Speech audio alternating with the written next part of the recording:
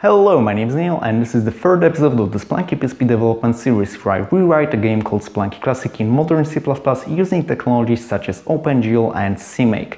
Watch the first episode to get to know how I started the project to support multiple platforms from a single codebase and the second episode to get to know how I implemented the main dude using the state pattern. This episode features a new natively supported platform which is Android, adding sounds and music to the game and implementing collectibles such as gold bars and diamonds. That being said, let's grab the PSP. I'll use a jack-to-jack -jack cable to record gameplay audio instead of a microphone and as you will notice in a few moments, the application startup time has increased dramatically. This is because the sounds and music are bundled within the executable just as the textures, meaning that everything has to be loaded on startup.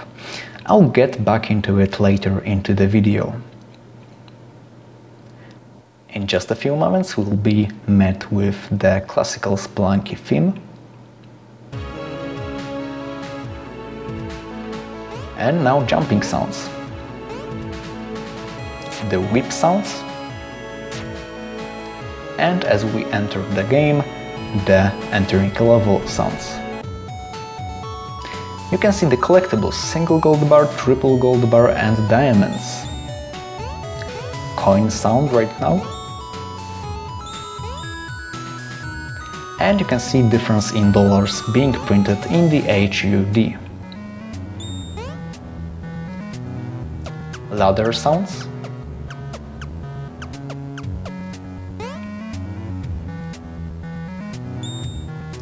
There are some items like this jar or this rock or this chest or the other chest that I added but they are not very interactive right now but they will be just like in the original game. Now let's take a very big jump. This is main dude stunned state. It takes some time, some cooldown before it gets back into a normal state and one heart is being removed and we'll enter the level summary screen. The level summary screen has expanded, now it prints the time that was progressed and the loot collected. Again, a very big jump.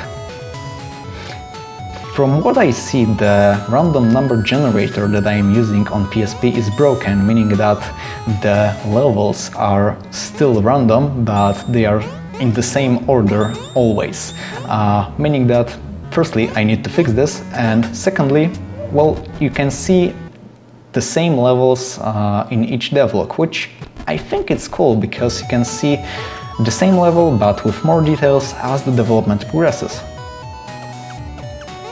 Uh, the music theme is different uh, between main menu and playing screen. And we'll take the last, this time lethal jump to enter main dude dead state and then scores screen. 3, 2, 1 and go. As I said, now the build will be the scores screen. Uh, the scores screen is the place where I'll print the overall statistics of the game. Uh, right now it's filled with placeholders as I'll need to implement the file system support uh, and some abstractions for it. You can enter score screen also from main menu, you don't have to kill yourself. And last thing, the pause overlay. It's not very practical in the main menu, but once you enter the game level, it will reveal additional option, which is to kill yourself. This way you can enter main menu and start the game once again.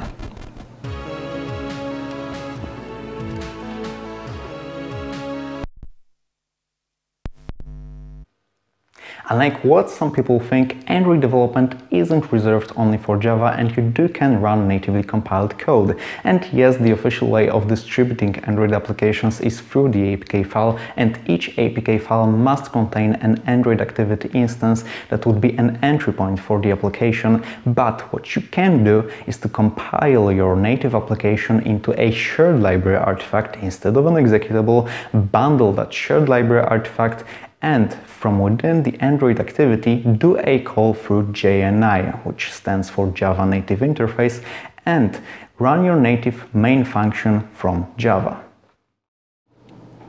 So we started adjusting the build system for a new platform. Upon detecting Android NDK, it compiles a shared library and in any other case from the same list of sources, it compiles an executable. CMake is easily extendable in that regard. To create an APK file, I utilized scripts from suikki slash simplesdl repository. What they do is calling Gradle, which builds the Java activity shipped by SDL as the entry point for the application and calls CMake to build the native artifact. In fact, it calls CMake twice as I am building a multi-lib APK, meaning that both 32 and 64-bit ARM artifacts are built and bundled to support both of the architectures. Then the native artifacts are bundled into the APK and the build process is done. Although I have a Google Play developer account, I don't sign the artifacts right now and don't even think about putting it on Google Play as I still find this platform to be an experiment. Upon running the application, Java Virtual Machine starts the activity, which then in turn retrieves a pointer to main function from bundled Spelunky PSP shared library through JNI and executes it. When from the main function, application is disposed. Now, as I said, this is an experiment and I didn't even create on-screen controls, so some form of physical input is required. For that, I utilized USB on the go with a USB keyboard connected. This isn't an ideal setup as in some cases I can't press more than two keys at once. For example, when I'm trying to run fast and jump, uh, I am activating some system hotkey for changing keyboard layout. The other thing that I don't consider finished on this platform is audio support. For some reason I failed to cross-compile SDL Mixer for Android, but as this isn't of much priority, I didn't try harder, resulting in no sounds and music being present. As for the performance, well, this phone has somewhere around 7 years, has a 32-bit ARM processor, which you can't find nowhere in devices sold nowadays, but it works perfectly well. When implementing the audio module, I faced the very same problems as when implementing the video module. In case of the video module, I wanted to abstract an interface for creating a window, creating an OpenGL context, swapping window buffers, pulling current aspect ratio, and so on, because when developing a multi-platform application, you don't want to mix some specific API, some specific library with your code base. An example, if you wanted to create a window and you wanted to do it in a multi-platform way, you'd create some abstraction, for example, through a window class, and in its implementation file, conditionally, depending on targeted platform, you'd use WGL in case of Windows, X11 in case of Linux, EGL in case of Android, EAGL in case of iOS, and so on. Now, realistically speaking, you wouldn't use either of those because you would use some library that would abstract it for you, like SDL or GLFW. Now, it doesn't mean you shouldn't use an abstraction layer between SDL and your code base, because at some point you may still encounter some very exotic platform that doesn't ship SDL implementation, um, and you'd have to utilize some platform-specific library yourself.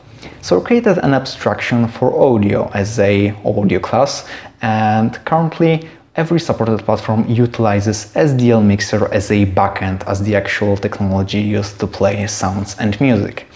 So the only thing left was to actually ship the files that are meant to be played. If you watched the first episode, you may already know that I developed a small utility tool called Resource Compiler. What Resource Compiler does is it takes a binary file on input and it outputs a header file defining a char array with each byte of the past input file. By including those input files, I become independent from the targeted platform's file system API. So that's cool. I utilized the resource compiler. I resource compiled all the audio files and that made a problem because the output binary grew from 5 megabytes to 16 megabytes. Um, for some context, PSP has at least 32 megabytes of RAM. Uh, I say at least 32 because they upgraded the number in their later models, but out of those 32 megabytes, 8 megabytes are reserved for kernel, and as I said, 16 megabytes is the binary size, so that leaves um, around 8 megabytes for any runtime allocations. Uh, frankly speaking, this is enough, uh, this is more than enough to be honest, uh, but still it makes the binary start, uh, the executable start much longer and it doesn't leave much room for any future assets so it's better to actually shrink those audio files um, now the most obvious way to shrink those audio files was to downsample them. Right now they are 44 kilohertz, uh, 44, yeah, 44 kilohertz, and because they are chip tune, uh, because they are stylized to be this 8-bit music, uh, I could downsample them to around 11 kilohertz and still don't notice any uh, quality loss. Um, so I did it, but problem is uh, the SDL mixer implementation for the PSP doesn't accept any other sampling rate than 44 kilohertz. Uh, so at that moment I decided I'll leave it as it is and just face the consequences later when I will want to mm, add some more assets. Um, but I do have some ideas, some two ideas to uh, solve this problem. First is to directly access the library, the PSP specific library that is utilized underneath uh, SDL Mixer for PSP uh, because most probably the problem is self-contained within SDL Mixer, not within the library that it utilizes underneath. And it should allow me for some uh, smaller sampling rate, uh, but problem is I didn't use this library before and just by ignorance I may introduce some new bugs, some stability issues into the Spelunky PSP. So uh, that leaves the second uh, idea. And the second idea is to actually still use the SDL mixer but to create an um, intermediate buffer uh, allocated in runtime in which I would upsample uh, the sound or music and then pass it to SDL mixer so to cheat it that it has uh, actually 44 kilohertz sound or music while uh, it was mm, 11 kilohertz when resource compiled. Um, yeah, and uh, it would be a little bit more memory consuming than the first idea, but the good side is that I wouldn't have to um, use the platform specific implementation in case of PSP.